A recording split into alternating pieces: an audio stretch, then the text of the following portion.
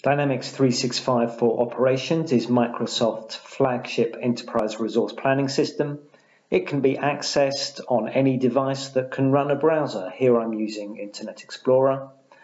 One click will take us to the default home page where we can see all of the built-in workspaces. Obviously, a user would have access to the system appropriate for their role.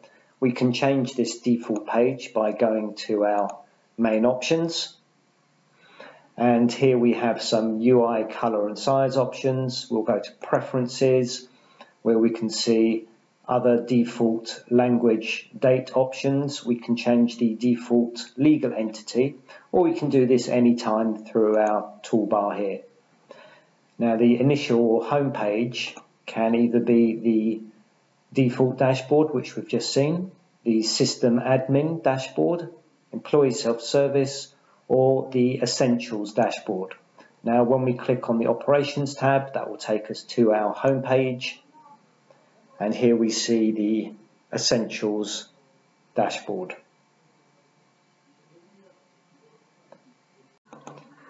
This home page you can personalize depending on your role and responsibilities it's completely customizable. You choose the workspaces you need, the quick links, and the business intelligence tiles.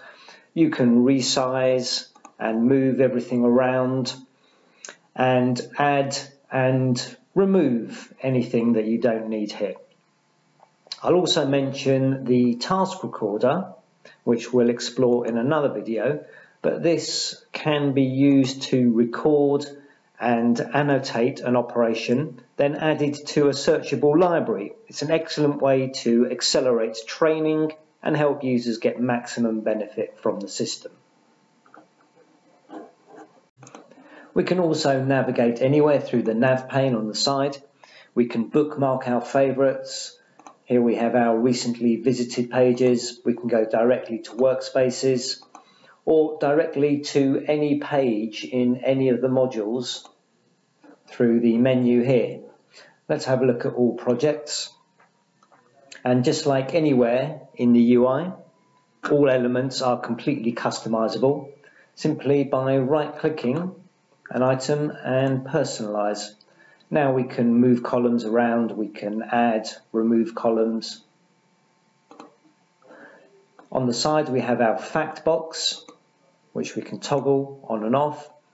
This allows us to access important information quickly without opening other pages and even access a further level simply by hovering on a field. And by clicking this link, it takes me directly to the page. Let's go into a project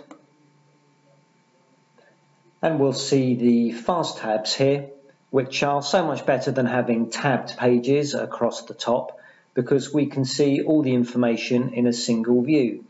The collapsed or expanded state is remembered next time we open the page and we can customize the summary information here simply by right clicking a field and choosing include in fast tab summary. Also, if we go to the menu on the left, we have swift access to any other project without having to go back to the main list. And lastly, the workspaces are preset hubs.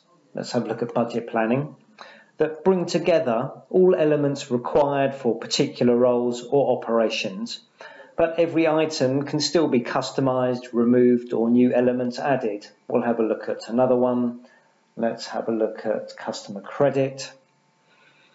And we have some interactive charts where we can click to drill further down into the data. And we also have some contextual information giving us quick access without having to open the page. Overall, it's a really fluid and flexible and very productive user experience, feature rich and extremely customizable.